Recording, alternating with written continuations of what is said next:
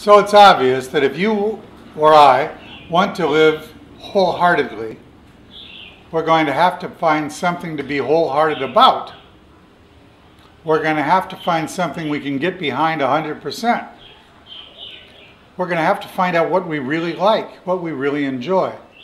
Now, when we were children, we played games, and these games were often inspired by television or movies or parents' stories or something. But through trial and error, we played games and found out what we thought we were good at and what we enjoyed.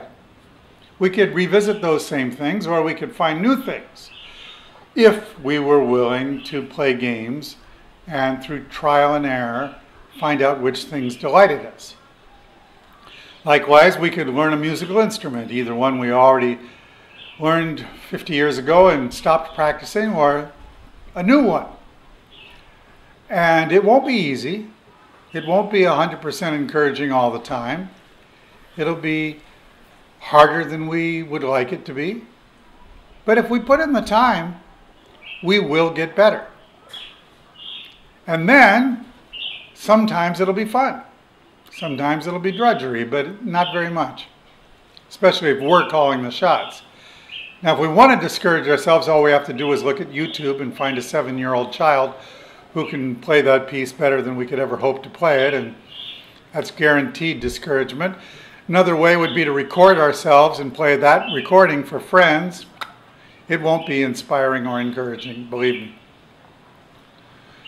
But these are these are things we do to find out who we really are, what our real gifts are, what our real interests are. I used to think I was practicing humility when I would accept a job that I thought was beneath me. But then I found when I did this, I wasn't very good at the job. I was keeping the job from someone who might be good at it. And when I got fired, uh, that was a humiliating experience. But I kept repeating that cycle many times more times than I would care to mention, until finally I just said, no more. I can't do this anymore. No more humiliating experiences with work. And then you get to a place where you have to try something else. And that's what we're talking about.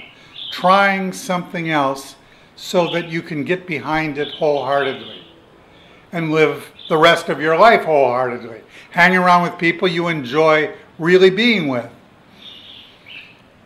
Stop calling up people you don't want to be with. It's easier than we think it is, but we like to make it harder. And there's a word for that in English. It's called obfuscation. It means making a problem harder than it needs to be so it can't be solved. So then you can play the victim or release yourself from responsibility for looking or trying any farther. But it's a lousy way to live.